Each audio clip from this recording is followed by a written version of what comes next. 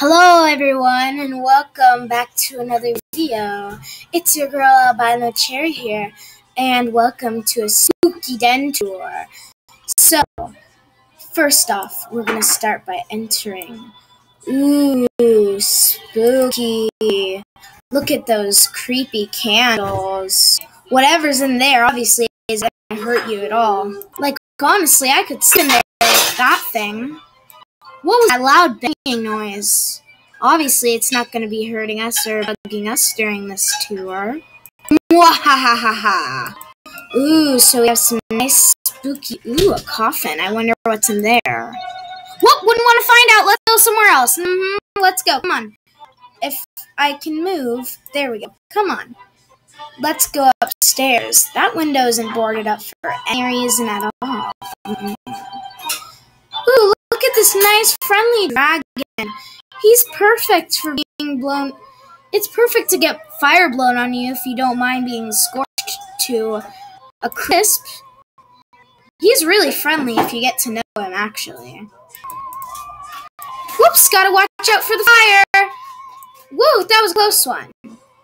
Over here we have some nice, wonderful brewing lightning up here, which is just waiting to strike on its victim. Oh, and what's that over off in the distance? A graveyard, totally not full with zombies just waiting under the ground to come out in the middle of the night and eat your brains. I mean, no, there's no zombies. Nothing but a few spooks here and there.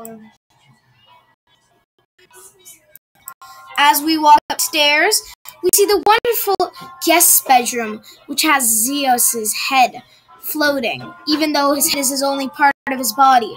So that picture makes no sense at all, and I have no idea why he'd be riding a horse, but it's still really creepy. Yeah, it is. And what's that? A totally not haunted phantom sheep. Oh, how nice for snuggling with at night. Another boarded up window, of course. We still don't know why it's boarded up. It's not like there's a ghost or demon hiding behind there just waiting to jump out and eat you. Ah, and here we have the wonderful Closet of Greeley, which contains, um, that. Of course, a plastic skull. We have to make things look spooky now, don't we? No, it's really a real skull. Just don't tell anyone. I don't want to be fired. Now, as we travel downstairs, you're going to see some pictures that eyes will follow you, but it's no big deal. It's a popular thing here at the mansion. Now, as we crawl into the haunted cellar, you'll see toxic waste spilled and bottles cracked all over the place. No need to worry. The worst they can do is melt your foot off. We have a trapped phantom, which never escapes, like at all. It doesn't escape once every month or so. No, it always stays there, and it hasn't caused wreck down in this place at all. Ah, always friendly, glowing eyes in the dark. You never know what they could be, but you always know that they're going to be something friendly that just wants to jump out and give you a hug. Ooh, and we have this totally friendly little jack-o'-lantern over here. Aw, look at how cute he is. We have this nice organ that doesn't play itself at night. Mm-mm, not at all. Some nice phantom smog over here. That must be so good for your lungs. It's green too. Wow. Wowza, that's just amazing. Whatever even happened to this guy on the statue, we don't want to know. Unless you want to get super spooked. Now here's a nice little graveyard. What a pleasant surprise. Here rests Batsy, the most cunning bat of all time. Oh, we wish that we could see her again even though we do every night or so. She comes out looking for some brains. Of course, we have to give her some.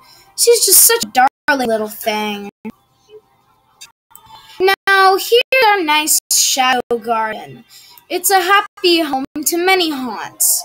They like it here because it seems dark, foreboding, and even a little bit emo. The kind of thing that they love to stay in.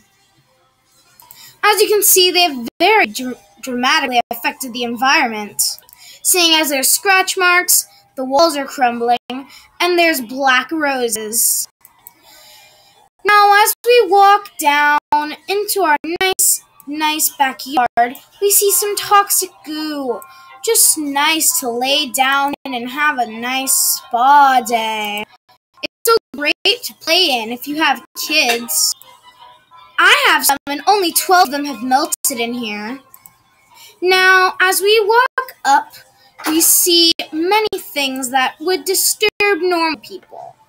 But of course, here at the Haunted Manor, we are not normal. So none of this bugs us. It's phased one or two ghosts, but that's it. Now you see curling vines that if you jump into, you will not come out of. At least not in one piece.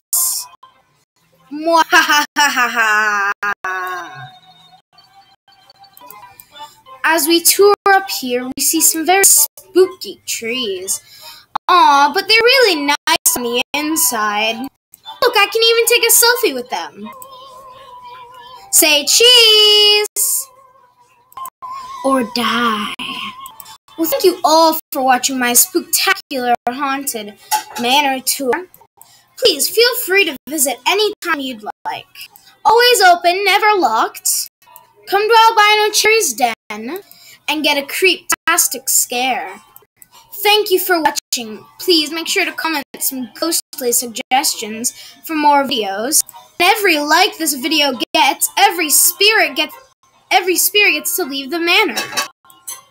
Every thumbs down this gets, a spider will bite you. These cute adorable spiders like the one next to me. I mean huge, poisonous spiders that you probably won't survive getting a bite from.